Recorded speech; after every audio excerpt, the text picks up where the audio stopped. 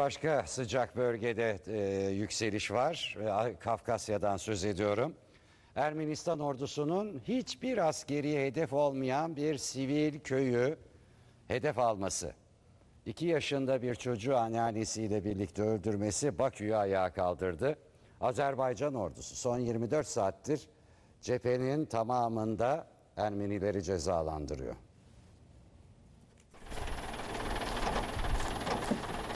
Bu görüntüler Azerbaycan-Ermenistan temas hattına yakın Fuzuli'nin Alhanlı köyünden.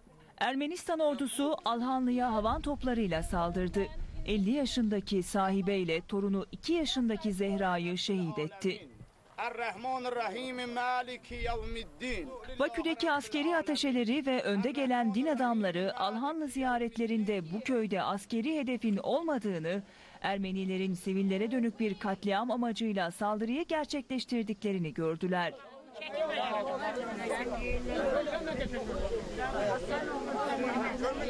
Bu gelişme üzerine temas hattındaki Azerbaycan topçusu geniş bir alanda Ermenistan'a ait askeri hedefleri vurmaya başladı. Azerbaycan Savunma Bakanlığı'ndan yapılan açıklamada çok sayıda Ermeni askeri hedefinin imha edildiği, çok sayıda da Ermeni askerinin etkisiz hale getirildiği vurgulandı.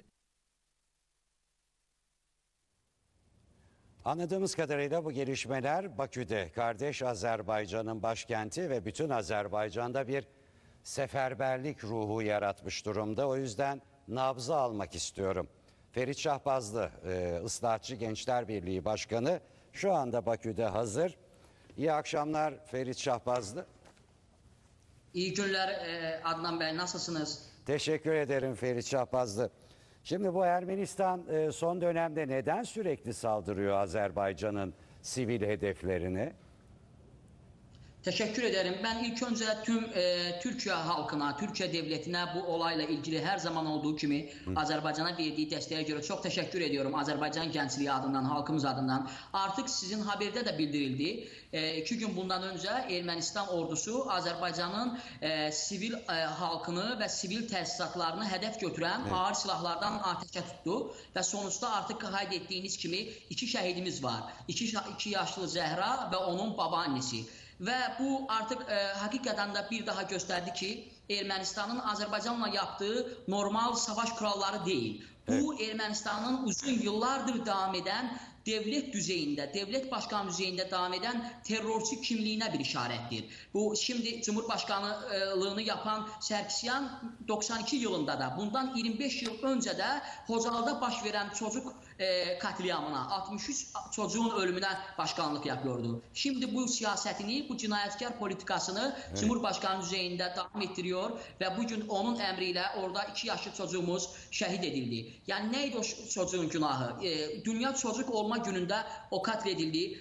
E, günahsız bir insan. Ama ne yazık ki Ardan Bey bugün biz her zaman olduğu gibi Azerbaycan'a, kardeş Türkiye'ye insan haklarından, insan hukuklarından ders geçmeye kalkan o kuruluşların, insan hukukları teşkilatlarının biz səssiz olduğunu görüyoruz. Evet. Bugün Ermənistanın devlet düzəyində apardığı bu terrorçu siyasətə onların sustuğunu görüyoruz. Agit, Agitin Minsk qrupu və digər ilgili qurumların bu yenə də çiftə standartlarının standartlarla konuşma yaptığını görüyoruz. Evet. Təbii ki bu Azərbaycan xalqını, bu baş verənlər Azərbaycan xalqını həm dərindən üzdü, həm də birləşdirdik. Xalqımız bu gün artıq siz xəbərdə qeyd etdiniz. Azərbaycan ordusu Ermənistanın bu cinayətkar addımına çox olduqca sərt təpki verdi və bu gün Ermənistanın bir çox bölgələri məhv edildi, əskəri bölgələri məhv edildi. Yəni bu gün siz biliyorsunuz, Azərbaycanın orduya ayırdığı büdcə Ermənistanın tüm dövlət büdcəsindən 2 dəfə çox. Yəni biz bunu hər kəs biliyor ki, Azərbaycanın öz torpaqlarını işğaldan azad etməsi üçün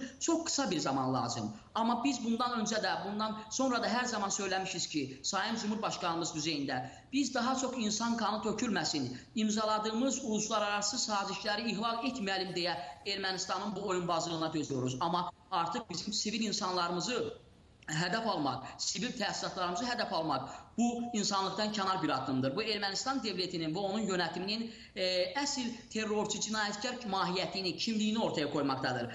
Biz bugün sizin televizyon vasıtasıyla, kardeş Türkiye vasıtasıyla yine de uluslararası birliğe səsleniyoruz. Neden başka ülkelerde baş veren olaylara e, gərəkli, gərəkmədi sərt yanıtlar veriyorsunuz. Ancaq burada bir çocuğun, günahsız bir çocuğun ölümünə səssiz kalıyorsunuz. Biz Azərbaycan gəncliyi olaraq bunu çox kəskin şəkildə pisliyoruz. Düşünüyoruz ki, e, bu cür olayların baş verməsi, sivil halka yönəlik bu olayların baş verməsi Azərbaycan devletinin və ordusunun sabrını taşıra bilər. Əgər bu sabır taşarsa, əmin olun ki, Ermənistan bunun karşısında hiç duramayacaq. Peki Ferit Şahbazlı yaptığın konuşmadan şunu anlıyorum. Genç bir insansın. Islahatçı Gençler Birliği Başkanısın. Azerbaycan ilerleyen yıllarda iyi bir siyasetçi kazanacak anladığım kadarıyla. Yolun açık olsun. Bana soru sormaya bile fırsat bırakmadın. Ee, Bakü'ye iyi, Bakü'ye iyi akşamlar diliyorum. Sağ ol. İyi akşamlar, çok sağ olun.